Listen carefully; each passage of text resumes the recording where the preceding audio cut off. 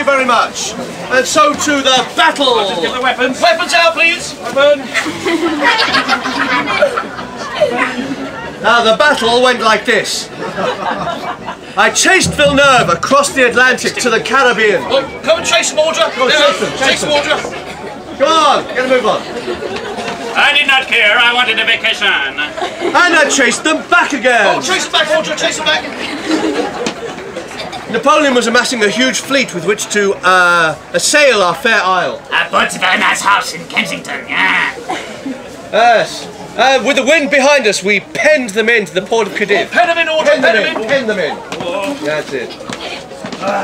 I did not care, as there was a very pretty senoritas there that I know. Yes, when the cowards finally emerged and headed towards the Mediterranean, we blocked their passage. Go on, block his passage. Block the passage, Audra. Oh, it was very painful. What was the fools doing, huh?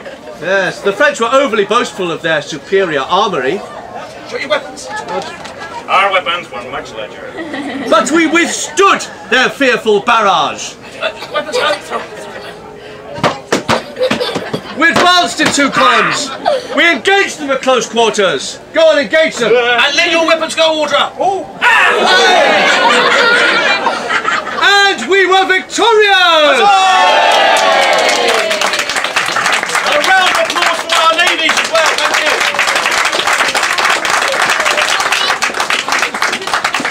But in the midst of glory,